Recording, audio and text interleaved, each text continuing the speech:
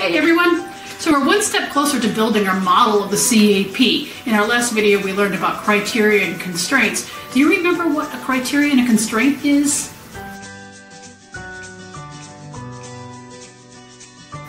Well, we learned that a criteria is a standard by which something is judged or assessed. And we also learned that a constraint is something that imposes a limit or a restriction.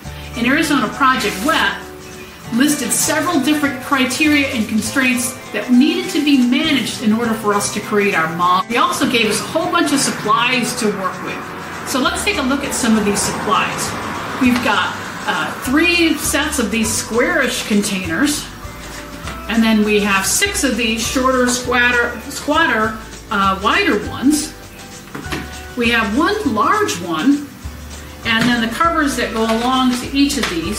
So covers for the square, covers for the wider ones, cover for the other one, the big tall one. We have 20 different styrofoam cups. Hmm, wonder what we could use those for. And then we've got two of these blue things here. And the blue things look like they have a little divot in the middle of them. Hmm. Kind of wondering what we can do with those as well. So, and we have three different pumps of different sizes. We have a short one, we have a medium one, and then we have a taller one.